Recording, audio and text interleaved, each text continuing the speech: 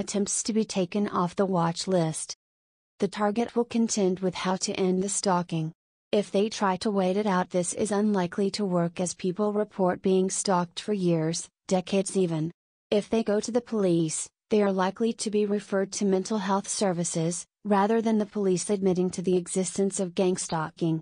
If they try to eradicate it by moving to a different location within the same country, it is highly likely to start up again soon after moving, as these programs seem to be nationwide. If they contract other government departments, they may face a wall of bureaucracy, and those government departments are unlikely to understand the stalking. If they try to convey to the surveillance team that they know they are being stalked in an attempt to get them to stop the stalking, it is highly unlikely to work as the company doing the stalking on behalf of the government will be profiting from the stalking and will not want to give up that profit.